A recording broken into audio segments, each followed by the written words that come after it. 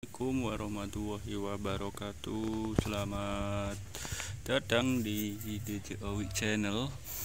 Kali ini kita akan melihat salah satu pohon yang saya tanam di halaman rumah. Ini adalah pohon anggur ya guys. Pohon anggur yang sangat rimbun dan usianya mungkin sudah setahun lebih hampir dua tahun dan batangnya itu ada dua ya. Ini yang satu ukurannya segini kecil satu jentik atau satu pensil. Dan batang yang kedua ini ukurannya cukup gede nah ini hampir satu jempol lebih. Ini guys. Ukurannya gede sampai mungkin sekitar berapa ya ini ya? 2 meter panjangnya.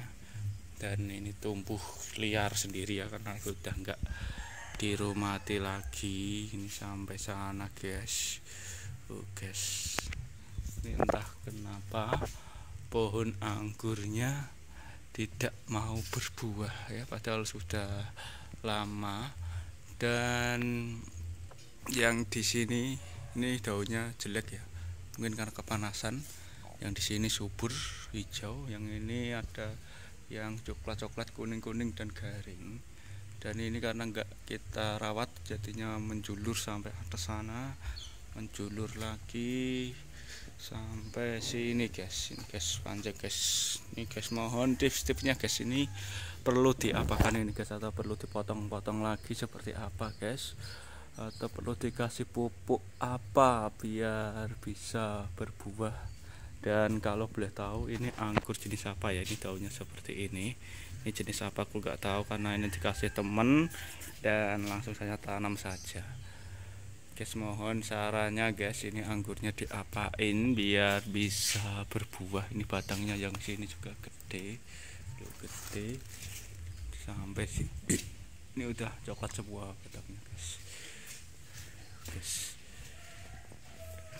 ini mohon tips-tipsnya guys.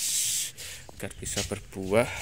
Yang ini juga gede ya batangnya. Ini ini aku dulunya itu apa nyontoh di YouTube ya. Yang modelnya kayak gini lupa namanya apa. Yang ke atas ke atas gitu. Namun ini kok ada yang besar ada yang kecil gitu ya guys. Ini kenapa? Nggak tahu ini kecil satu ini besar. Ini lumayan ini besar. Ini besar guys. Ini kalau dipotong ini dipotong seperti apa guys? Enaknya guys. Mohon sarannya dan dikasih pupuk apa guys. Oke sekian. Nanti saya tunggu komentarnya biar bisa berbuah ini harus diapain.